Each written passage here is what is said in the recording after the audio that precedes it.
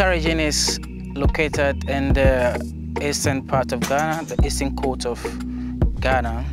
And our project currently is situated within the Keta Lagoon Complex Ramsar site. Seawater Solutions is um, an environmental company that um, is into environmental regeneration as well as um, halophyte agriculture practices.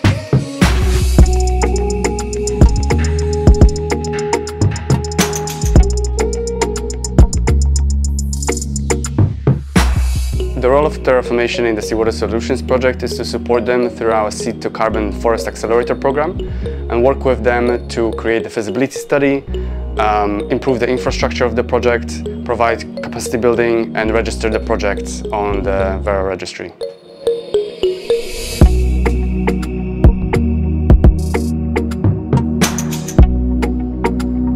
This mangrove serve as a home for species like birds, monitor lizard, crabs, you know, snakes. This mangrove also absorb carbon dioxide uh, four to five times more than other trees.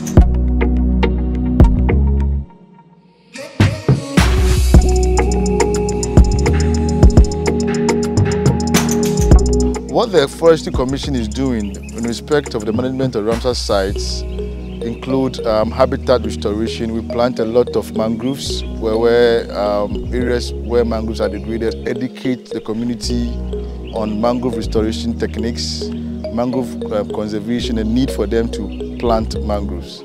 So having large areas of degraded mangrove uh, restored, means that it's going to go a long way to help mitigate climate change.